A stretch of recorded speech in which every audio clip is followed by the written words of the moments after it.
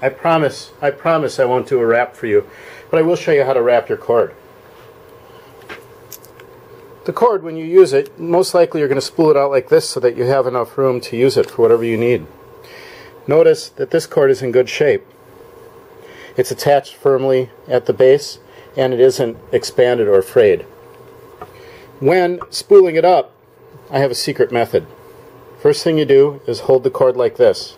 Make a little loop and hold it with your finger. That way it relieves any stress on this end when you begin to wrap it up. Now when I begin to wind the cord,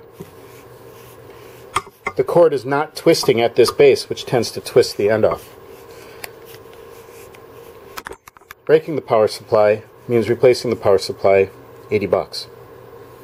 The other thing that happens to these cords is people leave them out for their rabbits or their puppies or their cats, and the cords get chewed up. All those cat cords, that also costs about $100 to replace, and is certainly not covered under warranty. So watch out for this thing. Animals like to chew it, they tend to get electrocuted, and it tends to break the cord. We don't want either of those things.